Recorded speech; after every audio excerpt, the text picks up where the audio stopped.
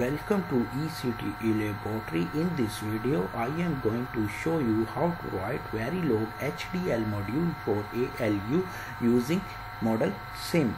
For this implementation, now I am going to open model sim.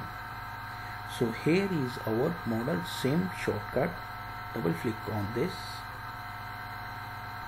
After this, go to file, new, new to project press yes then name as so we put ALU1 as project name press ok. Then create new file. We put file name is ALU and add file type as Verilog. Press ok. Close this.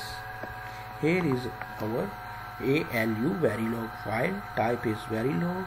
So right click here press edit. So this is our edit window. For the sake of time saving I already type ALU module in notepad. So here is our very Verilog ALU module. So select this.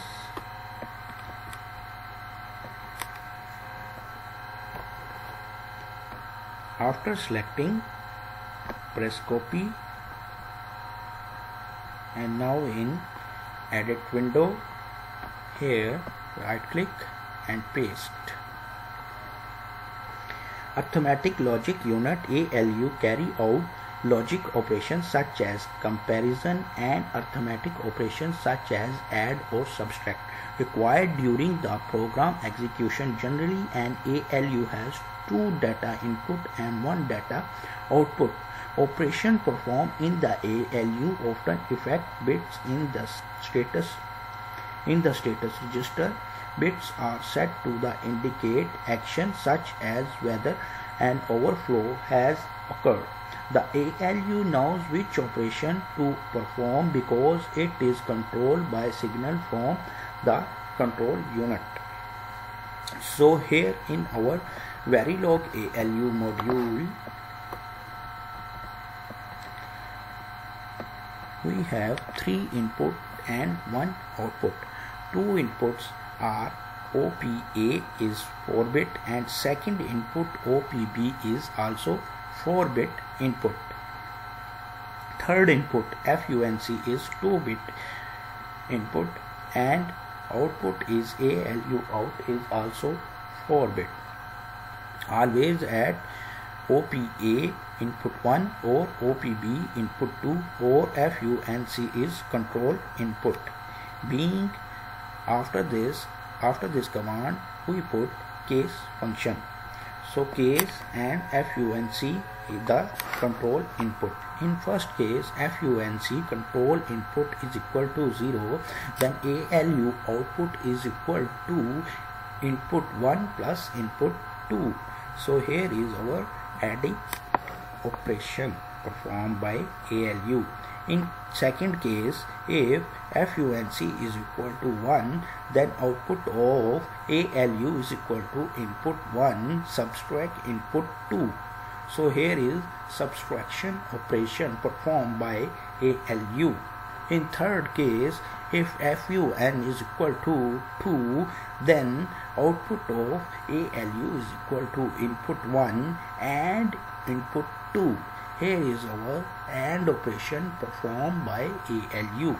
In fourth case, when FUNC is equal to 3, then ALU output is equal to input A or input B. In fourth command, here is OR operation is performed and then we end case and end this module and after this press enter and save the ALU module so here for compile right click here compile and select it so here is compile of ALU.v was successful